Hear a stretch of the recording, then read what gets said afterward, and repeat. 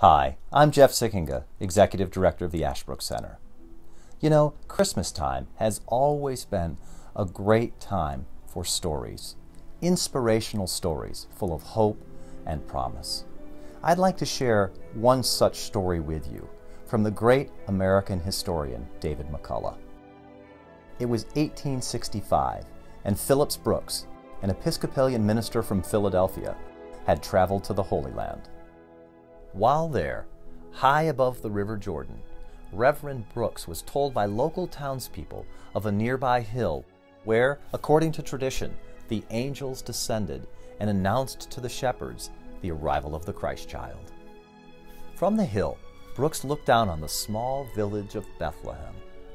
After returning to America, he decided to put pen to paper to convey just how it felt that day to look down on that little town.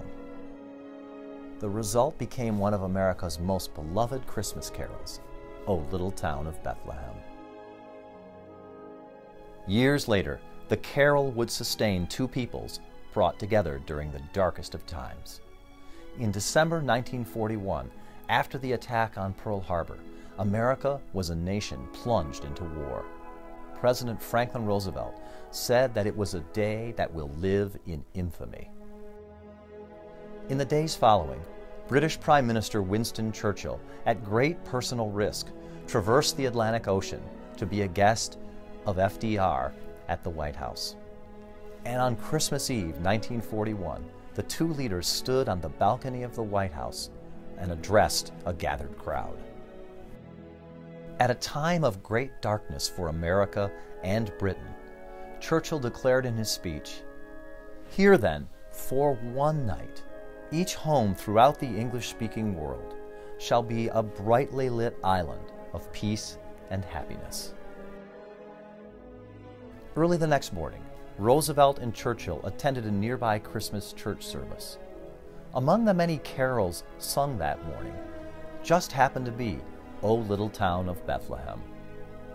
Churchill had never heard the carol before, but the words of the third stanza struck him. Yet in thy dark street shineth the everlasting light. For Churchill, each home and each hearth in America had become a shining light in the darkness. But why were they shining lights? You see, Churchill understood that the light of freedom shines when free people work and prosper. It shines when individuals, families, and communities freely govern themselves. And it shines when freedom loving nations stand up to defend themselves against aggression. Churchill knew the light of freedom still shined. It drew strength from America's history and founding principles, everlasting principles that have sustained this good and free country from its beginning. You know, 2020 has been another dark time and the new year will undoubtedly bring new challenges. Some people will say that to meet these challenges, America should turn its back on our history and give up on our principles. At Ashbrook, we won't yield to that darkness. We will keep America's light shining by educating students, teachers, and citizens in the history and founding principles of our nation.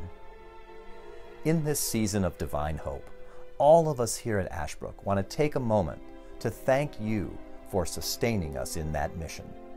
And in this season of divine light, all of us here at Ashbrook want to take a moment to wish you and your family a very Merry Christmas and a Happy New Year.